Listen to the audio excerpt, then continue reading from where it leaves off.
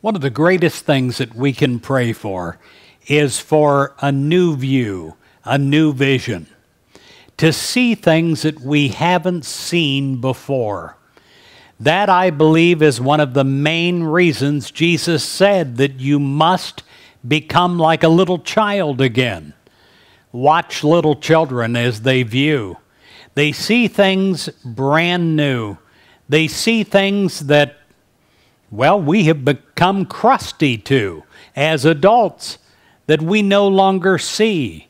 We no longer see the wonder in the ordinary and the absolute delight that should be found in the things that we see in a normal day. Well, I pray with you today that you're given God eyes, that you have a God vision inside of you that you are able to see the beauty everywhere. The beauty in your surroundings, the beauty in the mirror as you view yourself, the beauty in other people. I pray that you are able to see things that others are blind to. I pray that you're able to see the potential, the opportunity, the unseen wonderful gifts that God is trying to give through us. I pray that you are able to see things that you have overlooked before, the great things. If you're working on a project at work, I pray that you're able to see new, outside of the box, that you're able to have a vision in new ways.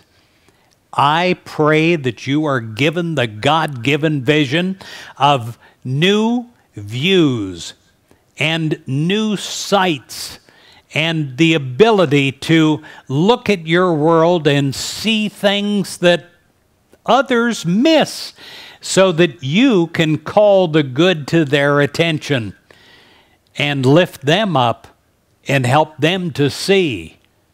I pray that your eyesight is so developed spiritually that you're able to see down the road from the end. If you're going towards a future, a vision, a goal that you want to obtain in your life for the good of you and your family and your loved ones. I pray that you don't allow any small bump in the road to stop you. That you're able to take your vision off of that and see where you want to go. And may it empower your body, guide your feet, guide your actions, so that you continue to focus on the vision of what you want so you bring it into your life without delay.